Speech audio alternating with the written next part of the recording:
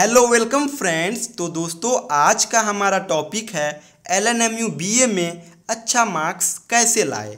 दोस्तों, आप लोगों का बहुत सारा क्वेरीज आ रहा था कि एल एन एम यू के लिए सेल्फ नोट कैसे बनाएँ? बेस्ट जो गेस्ट पेपर है, ये कौन सा है L N M U exam के लिए? हम आंसर को कितने पेज में लिखे? राइटिंग रियल में एल एन एम यू के एग्ज़ाम में मायने रखता है या नहीं?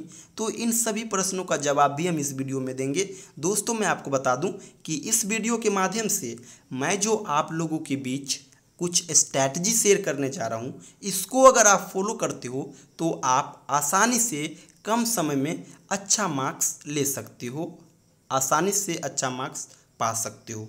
दोस्तों, मैं आप लोगों को बता दूँ कि आप लोगों में से मैक्सिमम स्टूडेंट्स होते हैं जो बैचलर भी कर रहे होते हैं और कंपटीशन का भी तैयारी कर रहे होते हैं। तो मैं आप लोगों को बताऊँगा कि आप लोग अपना मेन फोकस कंपटीशन पे ही रखना, लेकिन एग्ज़ाम डेट का नोटिफिकेशन आने से लगभग एक महीने पहले आप लोग एग्ज़ाम की तैयारी में ज़रूर जुट जाना।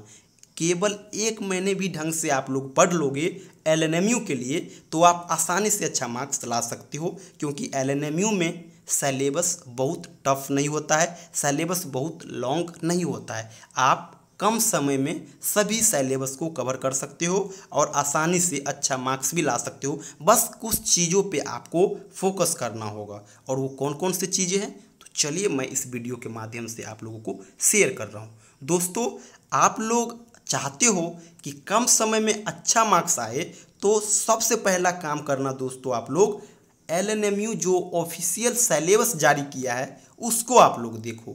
और सभी सेलेबस को नहीं देखोगे, आप लोगों का जो सेलेबस है, जैसे मान लीजिए किसी का हिस्ट्री ऑनर्स होगा, किसी का पॉलिटिकल साइंस ऑनर्स होगा, किसी का ज्योग्राफी ऑनर्स होगा तो जिसका जो भी ऑनर्स पेपर है उसका ऑनर्स ही नहीं सब्सिडरी का भी, सभी का आप लोग सैलेबस देखोगे। और ये सैलेबस आपको कहाँ पे मिलेगा? तो एल एन एम यू के वेबसाइट पे आपको सैलेबस मिल जाएगा। सपोज़ अगर नहीं मिले तो आप लोग करना क्या? तो इसी चैनल संपूर्ण इंग्लिश चैनल पे मैं प्लेलिस्ट बनाया हूँ। Part one syllabus part two syllabus part third syllabus तो आप जिस पार्ट में हो, उस प्लेलिस्ट में जाके सैलेबस वाली वीडियो को देखना।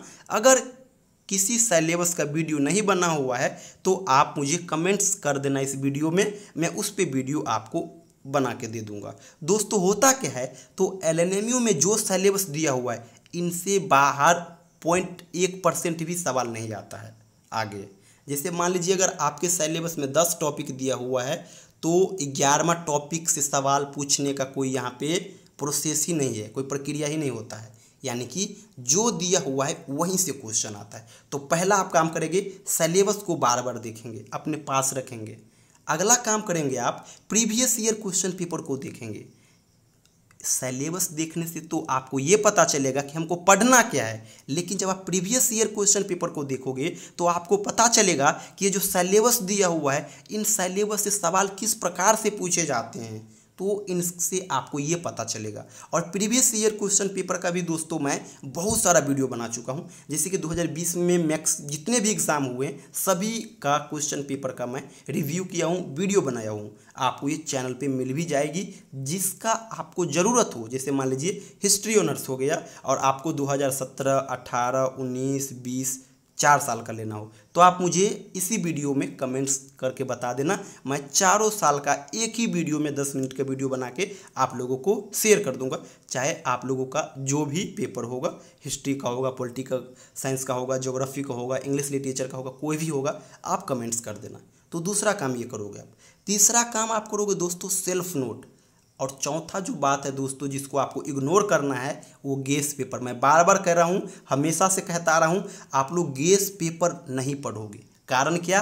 तो केवल आप ही नहीं गेस पेपर पढ़ रहे होंगे। एलएनएमयू से जितने भी कॉलेज कनेक्ट हैं, उन सभी कॉलेज के स्टूडेंट्स केवल गेस पेपर पे ही फोकस करते हैं। कारण क्या है? तो वो कंपटीशन का तैयारी कर रहे होते हैं और लास्ट समय में दस दिन पढ़ता है और उसी से चीटिंग करके लिखता है एग्ज़ाम में। और इसका रिज़ल्ट क्या आता है? तो सभी को एक ही प्रकार का मार्क्स आता है। किसी को पचपन, किसी को छप्पन, किसी को पचास, यानी कि एवरेज मार्क्स ही आता है। अच्छा मार्क्स नहीं आता है। और यही होता है इसका कारण कि सभी एक ही प्रकार के आंसर लिखते हैं।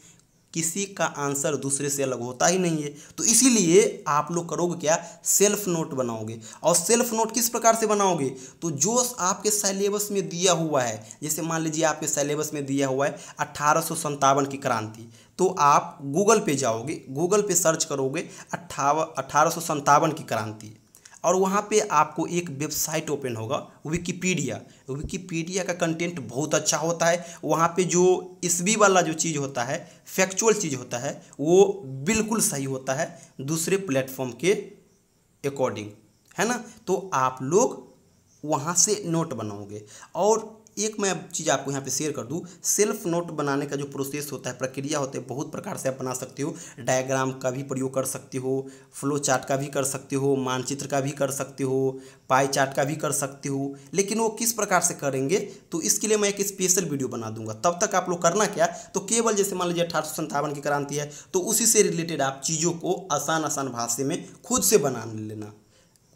गेस जो होता है दोस्तों, यहाँ पे ग्रामेटिकल चीज़ों का फॉलो वो नहीं किया हुआ होता है। Line by line line by line चार से पाँच पेज एक प्रश्न का आंसर हुआ दिया हुआ रहता है। आप लोग उसी को क्या करते हो? फाड़ते हो और जाके आंसर लिखाते हो। ये नहीं करना है। कहाँ पे हमें लाइन बदलना है? कहाँ पे हमें इंट्रोडक्शन देना है? कहाँ पे हमको कंक्लूजन देना है? कहाँ पे हमें फॉलो चार्ट का यूज़ करना है? आप लोगों को लग रहा होगा कि फॉलो चार्ट का क्या ज़रूरी है, लेकिन मैं आपको बता दूँ कि एक छोटा सा काम करने से एक आंसर में चार पेज की बजाय अगर आप दो ही पेज लिखते हो और कोई एक अच्छा सा डायग्राम वहाँ पे लिख देते हो तो आपको उस चार पेज में जितना चीज़ लिखोगे और जितना अच्छा मार्क्स आपको नहीं मिलेगा, उतना मार्क्स यहाँ पे केवल दो पेज में चीज़ों को लिखने से एक डायग्राम बनाने से आपको मिल जाएगा। तो इसीलिए आप लोग सेल्फ नोट पे ज़्यादा फोकस करना। अगला चीज़ है, आप लोगों का आता है कि कितना पेज लिखे तो मैं अभी ही बता दिया हूँ। अगर आपका कंटेंट अच्छा रहेगा तो केवल आप दो ही पेज लिखोगे तो दो ही पेज से आपको बीस में से अठारह, सत्रह मार्क्स मिल जाएगा।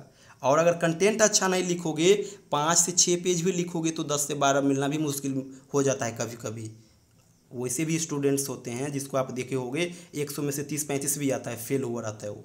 कारण यही है, वो चीज़ों को अच्छा से डिलीवर नहीं करता है। उसका जो मेन फोकस होता है ओनली पेज भरने पे होता है। और जो सबसे इम्पोर्टेंट चीज़ है दोस्तों, वो है हैंड राइटिंग अभी इसी साल इंग्लिश लिटरेचर का जो मेरा बैच भी चलता है, वहाँ पे एक स्टूडेंट था, उसका जो है दोस्तों राइटिंग बहुत गजब था। वो पढ़ने में, समझिए, बहुत ही ये था वीक था। लेकिन हैंड राइटिंग उसका बहुत अच्छा था और जो चीज़ मैं उसको दिया था, वो उसको रट लिया था। और एग्ज़ाम में क्या किया तो उसी चीज़ को, रटा हुआ चीज़ को लिख के आ गया, लेकिन उसका राइटिंग बहुत अच्छा था। आपको विश्वास नहीं होगा इंग्लिश लिटरेचर में साठ परसेंट लाना भी बड़ी टफ हो जाता है, लेकिन ये इस बार पार्ट टू में एटी थ्री परसेंट लाया लाया है। आपको विश्वास नहीं होगा, मैं स्क्रीन डाल दूँगा। इतना परसेंटेज लाया है दोस्तों। कारण क्या तो उसका हैंड राइटिंग बहुत अच्छा है। रियल में बहुत अच्छा हैंड राइटिंग है। तो इसीलिए आप लोग हैंड राइटिंग पे ज़रूर फोकस करना। आप लोग कर रहे होंगे कि आखिर सिलेबस से ही क्वेश्चन क्यों आते हैं? तो देखिए, मैं एक एग्जांपल यहाँ पे लिया हूँ। ये पॉलिटिकल साइंस पेपर टू का सिलेबस है। देखिए, यहाँ पे जैसे दिया हुआ है इंडियन पोलिटिकल थाउट और यहाँ पर दिया हुआ है स्वामी विवेकानंद, उसके बाद दिया हुआ है दयानंद सरस्वती कौटिल्य बाल गंगाधर तिलक, गोपाल कृष्ण गोखले, अरविंद घोष, महात्मा गांधी। देख रहे हो ना, जितना भी टॉपिक है, इस टॉपिक से बाहर कभी सवाल आया ही नहीं। मैं बहुत सारे प्रीवियस ईयर क्वेश्चन पेपर का रिव्यू किया हूँ और देखा हूँ कि एक भी प्रश्न पेपर में नहीं होते हैं जो सिलेबस से बाहर होते हैं। यानी सिलेबस का यहाँ पे कितना मायने है, ये आप समझ सकते हो। इसीलिए सिलेबस से बाहर आप कुछ मत पढ़ना, वैसे भी आप लोग कंपटीशन का तैयारी कर रहे होंगे, आप लोगों के पास समय भी उतना नहीं होगा। तो इसीलिए देख रहे हैं, केवल ग्यारह टॉपिक ही दिया हुआ है और ग्यारह टॉपिक से ही एक सौ मार्क्स का प्रश्न आएगा, इससे बाहर नहीं आएगा। तो इसीलिए आप लोग सिलेबस से बाहर कुछ भी चीज़ मत पढ़ना और एक चीज़ और, गैस आप लोग मत पढ़ना, मैं बार बार कर रहा हूँ। अगर पढ़ना भी तो गैस के चीज़ को आप आंसर करके एग्ज़ाम में मत लिखना। क्योंकि आपको अच्छा मार्क्स नहीं मिल पाएगा। और मैं आपको बता दूँ कि अब ग्रेजुएशन में दोस्तों साठ परसेंट लाना समझिए बहुत ही ज़रूरी बन जाता है। कारण क्या? तो कंपटीशन इतना बढ़ रहा है फ्यूचर में हो सकता है कंपटीशन को टालने के लिए गवर्नमेंट ये लागू कर दे कि ग्रेजुएशन में एटलीस्ट सिक्सटी परसेंट होना चाहिए, साठ परसेंट होना चाहिए। इसलिए साठ परसेंट कम से कम आप ज़रूर ला लो। और उसके लिए आपको कुछ बेहतर ज़रूर करना पड़ेगा। और ये बेहतर करोगे दोस्तों तो सत्तर पचहत्तर परसेंट आसानी से आ जाएगा दोस्तों, और वो अच्छा मार्क्स माना जाएगा। तो इसीलिए आप लोगों को वेरिएशन ज़रूर करना होगा। गेस के आंसर पे इतना विश्वास मत करिए, उसी पे इतना फोकस मत रहिए कि उसी को चीट बना करके ले जाना है और जस्ट उसको लिख करके आ जाना है। चिट्ठी ले जाना है, अपना बनाइए सेल्फ बनाइए फैक्चुअल चीज़ डालिए वहाँ पे कंसेप्चुअल चीज़ डालिए। देखिए कैसे अच्छा मार्क्स नहीं आता है। मैं भी टोटल आठ पेपर दिया हूँ ना। पार्ट वन में दो पेपर पार्ट टू में दो और पार्ट थर्ड में चार पेपर टोटल आठ पेपर दिया हूँ सब्सिडी को छोड़ करके। और पता चला है, फिर मैं आप लोगों को बता रहा हूँ कि शुरू के दो पेपर में मैंने गैस का ही यूज़ किया, उसी का सहारा लिया। कारण मैं ट्यूशन नहीं लिया था।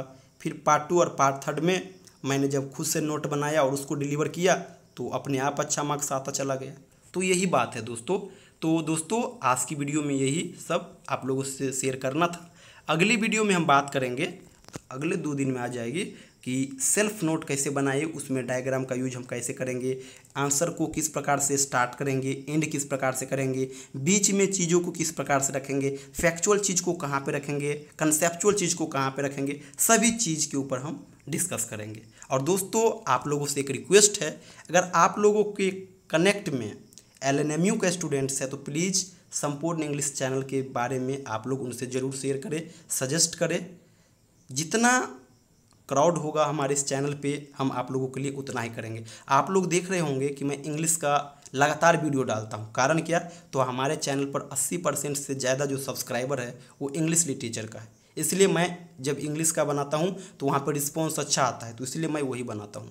अदर पे जैसे मैं बनाता हूँ रिस्पॉन्स आता ही नहीं। तो मेहनत करके रिस्पॉन्स नहीं आता है तो अच्छा नहीं लगता और इसका सबसे बड़ी कारण एक ही है दोस्तों, कि हमारे चैनल के बारे में बहुत को पता नहीं है। तो इसीलिए इस चैनल और आप जानते भी होंगे, हम इस चैनल के माध्यम से इन्फॉर्मेशन यूनिवर्सिटी से रिलेटेड इन्फॉर्मेशन तो नहीं देते हैं, लेकिन आपके यूनिवर्सिटी से रिलेटेड जितने भी एजुकेशन के वीडियो हो सकते हैं, वो सभी शेयर करते हैं, हर सिलेबस से रिलेटेड और इतना ही नहीं दोस्तों एग्ज़ाम के समय में एग्ज़ाम से, जैसे एग्ज़ाम डेट आ जाता है, मैं हर सब्जेक्ट का गेस करता हूँ क्वेश्चन का। और आप लोग भली बात ही परिचित होंगे हमारे गेस से, हमेशा नाइन परसेंट क्वेश्चन टैली कर जाते हैं। दस ही प्रश्न देते हैं और उसी में से आठ नौ प्रश्न आसानी से आ भी जाते हैं। कारण है एक्सपीरियंस हो चुका है तीन चार साल पढ़ा हूँ तो इसीलिए ये काम भी कर जाता है। तो इसलिए आप लोगों से रिक्वेस्ट है एलएनएमयू के स्टूडेंट्स से इस चैनल के बारे में बातें ज़रूर शेयर करें दोस्तों।